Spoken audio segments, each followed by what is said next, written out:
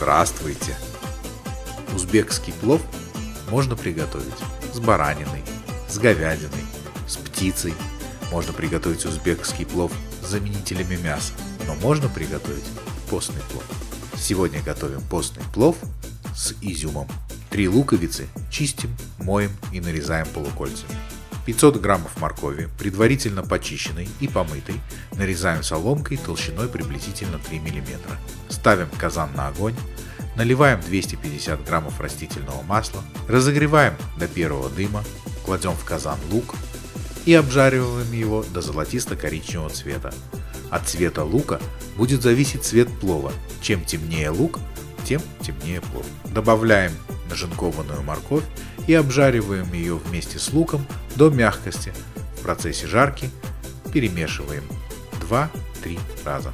Добавляем 2 литра холодной воды, доводим до кипения, добавляем 2 чайные ложки соли, 1 чайную ложку черного молотого перца и при желании 2 чайные ложки зиры.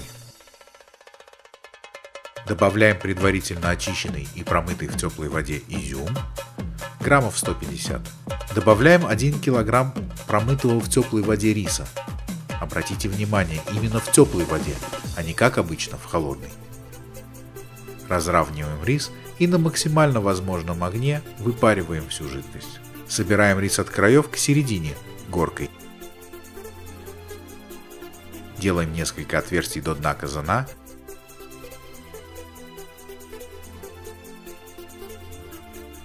Даем выкипеть оставшейся там влаги, накрываем полотенцем и плотно накрываем крышкой. Делаем маленький огонь и оставляем плов минут на 20-25. Через 25 минут открываем казан, перемешиваем плов, выкладываем горкой на блюдо и подаем к столу. Посетите также другие разделы нашего сайта – videoculinary.ru или по-русски videoculinaria.rf. Вы там найдете много простых, но очень вкусных блюд. Вдохновения вам и удачи! Подаем постный плов салатом из редьки, красным сладким луком и зеленым чаем.